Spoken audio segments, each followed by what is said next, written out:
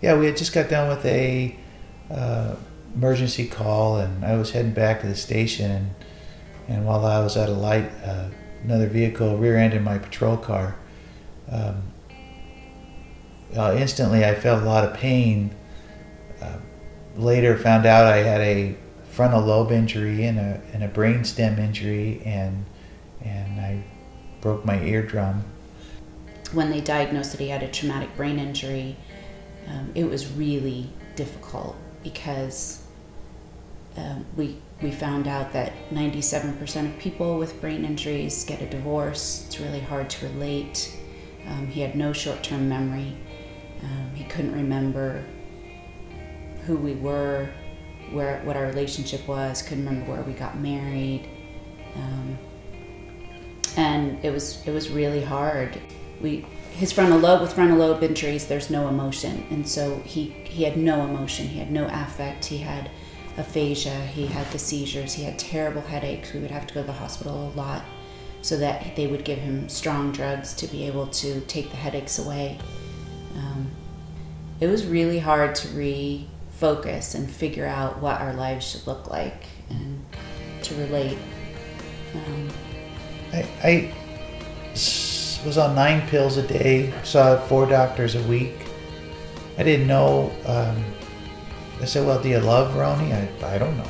I had no idea. I had no way to process any information for answers. I just, all I knew was I woke up in the morning and took medication so my brain would function. And before I went to bed, I took medication so that I could get some sleep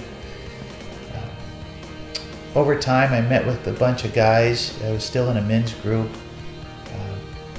Uh, and at one point, I felt that God was uh,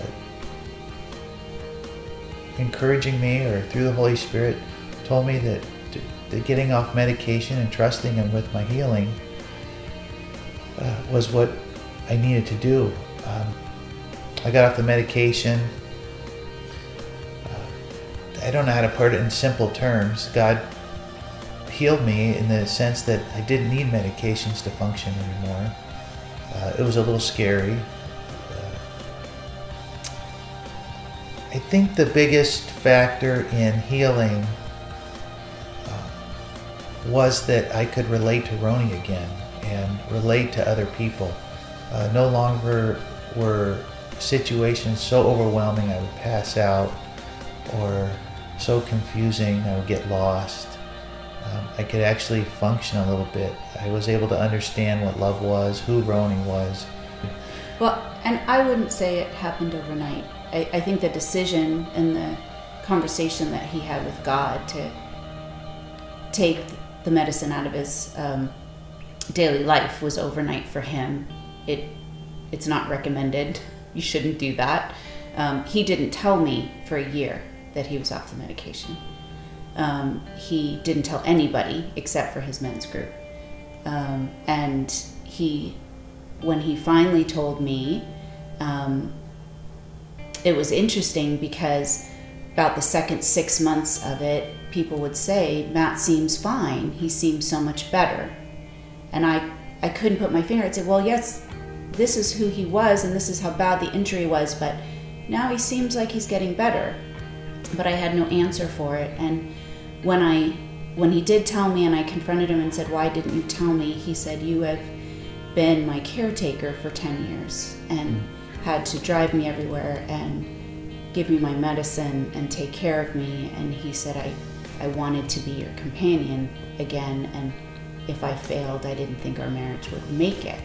So it was a he knew that he had to do that and, and he's right if if i was there in the process i would have parented him to heal but this way i i had to have my own temper tantrum of not knowing but i do it it that was the biggest healing in my life is going from taking care of him and being able to be his wife and being able to love him and respect him in a way that was not possible for those 10 years. That was gone. I didn't have that respect or that belief that he could provide in it. There are things of who he was in the beginning of our marriage that took years, maybe two years ago, he might um, he used to always, when we first got married, say, What can I do for you this morning? And that was gone for his injury.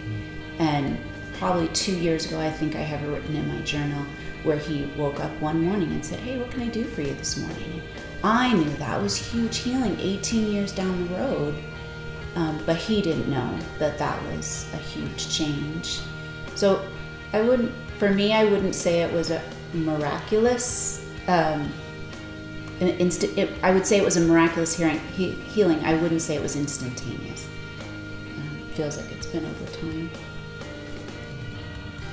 A lot of the struggle I had was that I could not read anymore. I could not, I didn't understand what people were saying.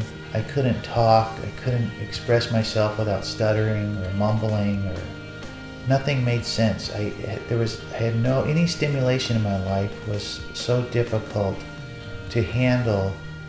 So the fact that I could actually uh, function in a way that uh, matched my you know what I wanted, my emotions, and what uh, understood what God wanted me to do, or wanted to be a better husband, be a better father.